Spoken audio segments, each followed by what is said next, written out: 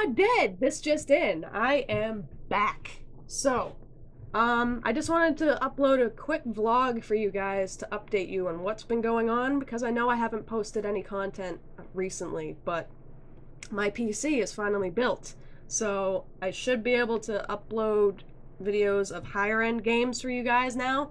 Not just cute little indies, but those won't stop, don't worry. I will still be doing indie titles because the majority of my wish list on Steam right now is little indie horror titles and such. So those will get uploaded very, very soon, hopefully.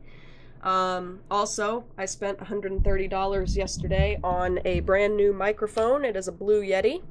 Um, I really like it so far.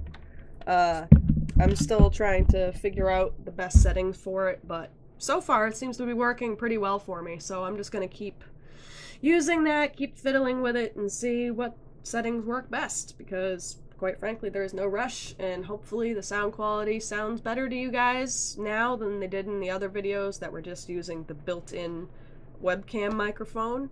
I think that it sounds much better, um, so hopefully you guys think so too. But um, yeah, that's pretty much all I had to say for this little update vlog. I just wanted to let you guys know I'm not dead. I didn't go anywhere. I'm still very much interested in continuing this channel, and I hope you guys are still interested in watching my videos because I know that my uploads have been very scarce lately, and I do apologize sincerely for that. But for anybody who's even bothered to give my channel a chance in my little downtime, thank you so much.